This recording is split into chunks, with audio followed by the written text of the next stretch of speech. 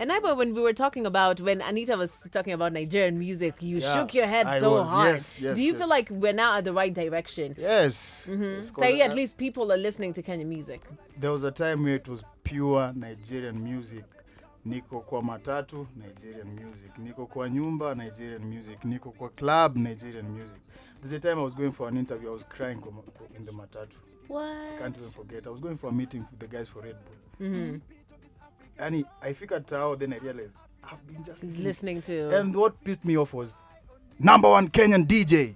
That was the tag for that mix. right, but you're It playing pure Nigerian music. Nigeria. I was like, There's actually a friend of mine who came from Kampala recently, and then um, when I met up with them this week, he said, "I don't understand Kenya. You you guys listen to a lot of Niger- Nigerian music." He's like, "Ever since I landed in this country, I think I've heard like maybe five Kenyan jams. So what are the hot Kenyan jams right now?" And I must agree with you, it does get very irritating Yeah. because you'll find a lot of DJs in the clubs these days. All they want to do is play Nigerian music all night long.